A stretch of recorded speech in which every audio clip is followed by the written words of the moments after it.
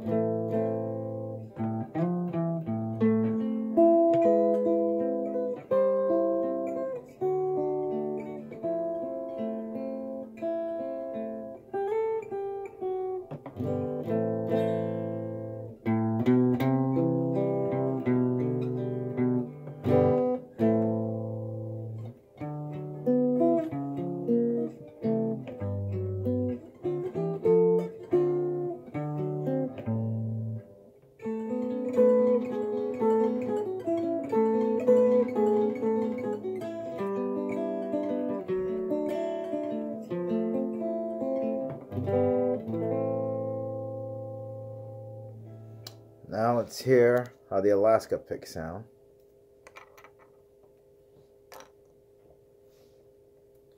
These you need nails for, a little bit of nails, and you fit them right underneath, middle,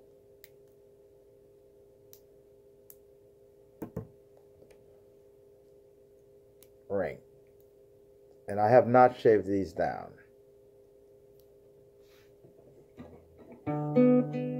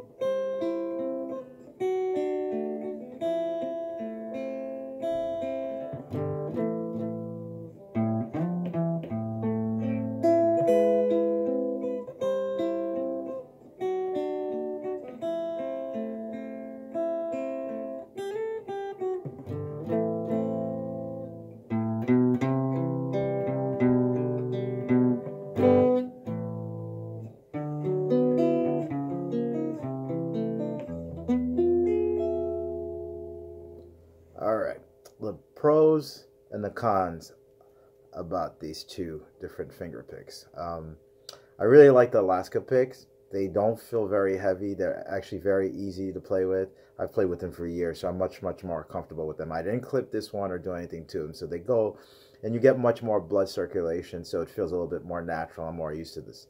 Now, as you can probably tell, the tone of the Freedom picks, the Fred Kellys, much warmer. So it's almost like using a heavy pick versus um, a thin pick and stuff. So, I mean, that's the, they're both basically really good alternatives to your fingernails. And, um, you know, I think the more I play with the Fred Kelly, uh, that's going to, you know, I'm going to be more comfortable with it. And then eventually I might actually try to play a little bit more with the Fred Kellys versus the um, Alaska picks just to see, uh, get a little bit different tonality there. All right, then.